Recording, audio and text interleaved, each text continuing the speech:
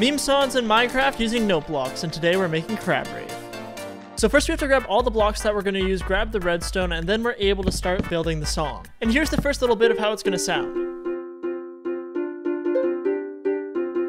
I spent the next few hours building the rest of it, which took way too long, but anyways, here's the final result.